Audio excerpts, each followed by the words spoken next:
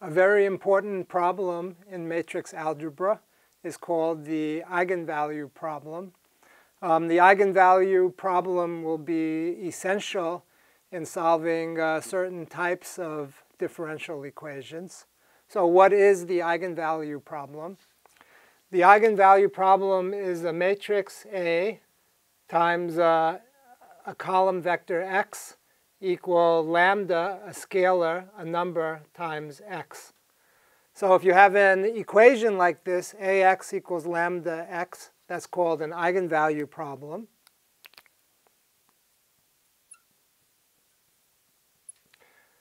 Um, the matrix A is given.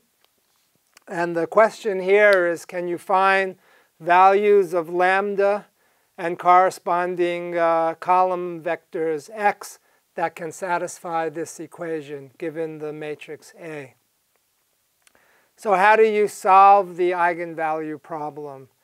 Um, what you do is uh, slightly uh, tricky, but um, is actually straightforward. Uh, you write this as ax equals lambda, and then you introduce the identity matrix I here in front of x. So remember, I in the 2 by 2 case is just 1, 0, 0, 1.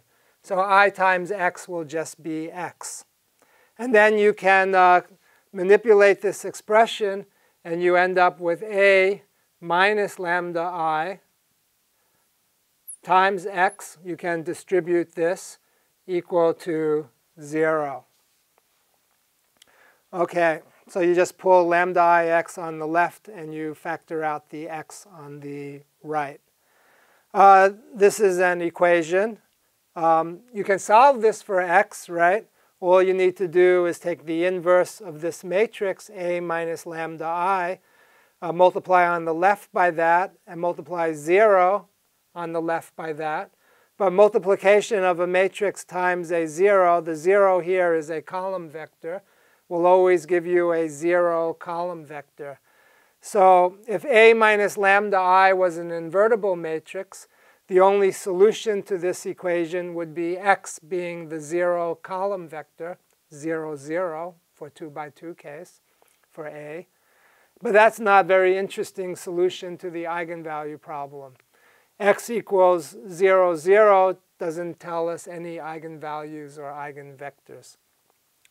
Um, so we don't want this matrix to be invertible. That means the determinant of this matrix has to be 0. So we write the determinant of A minus lambda i equals 0. This is called the characteristic equation. Characteristic equation uh, of the matrix A. Okay?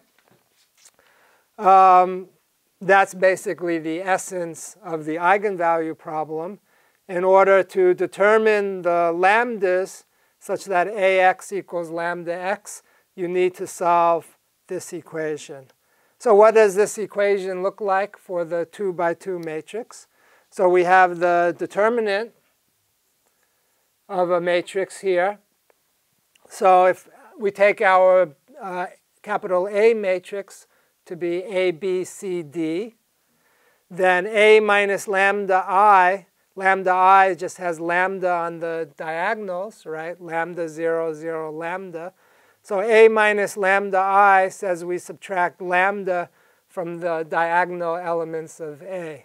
So this is the determinant of the matrix A minus lambda, B C and D minus lambda.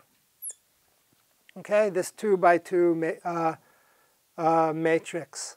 So uh, remember, the determinant is you multiply the diagonal elements, A minus lambda times D minus lambda, and then you subtract the off diagonal elements multiplied, minus BC. Okay? We can do this multiplication. This is equal to lambda squared. And then we have the cross term. minus a lambda plus minus d lambda. So minus a plus d lambda. And then we have the scalar, which is AD minus BC. So plus AD minus BC. And uh, if you want to remember this formula, this would be lambda squared minus A plus D is just the sum of the diagonal elements of A. That has a name. That's called the trace of the matrix A times lambda. And then AD minus BC is just the determinant of the matrix. So determinant of A. So lambda squared minus trace A times lambda plus determinant A. And that's supposed to be equal to 0 for the characteristic equation. Okay? so solving uh, ax equals lambda x, here we're solving for lambda. Lambda are the eigenvalues of this equation. What we need to solve is the characteristic equation, determinant of a minus lambda i equals 0. When we do that, we get a quadratic equation for lambda lambda squared minus the trace of the matrix A, the sum of the diagonal elements, times lambda plus the determinant of A, AD minus BC equals 0. Okay, quadratic equation for lambda. So we get two uh, eigenvalues. We get uh, lambda equal to lambda 1, and we get lambda equal to lambda 2. Okay two eigenvalues for a 2 by 2 matrix. Okay, the eigenvectors then are the x's. So given lambda equals lambda 1, what is the corresponding x associated with that? We call that the eigenvectors. So to, to determine the eigenvectors, we do one at a time. We say lambda equal to lambda 1. And then we need to solve the equation. We can work from here, a minus lambda i x equals 0. We're looking for the eigenvector associated with lambda 1. So we can write a minus lambda 1i times v1 equals 0. 0 here is a 2 by 1 column vector of zeros. And this gives us then an equation for V1, the eigenvector associated with lambda 1.